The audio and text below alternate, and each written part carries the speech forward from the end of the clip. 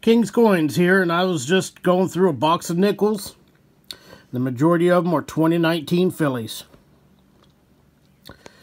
And I just started sitting here thinking about things that were coming up. I started thinking about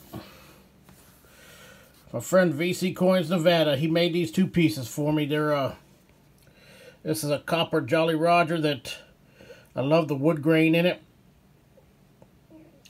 Little looks like an old pirate piece. And this lion's head.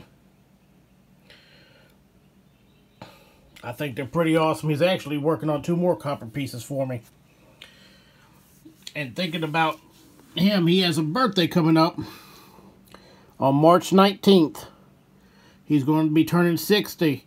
And I just wanted y'all to go over there to his channel. If you're not sub, give him a, give him a sub. Watch some of his pours. He does copper and silver pours. And just leave him a little birthday message on one of his videos. Tell him happy birthday.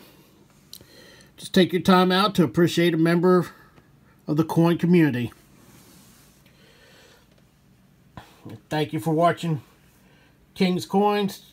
Please take your time to go over there and tell him happy birthday. And as always, remember, it's always good to be the king.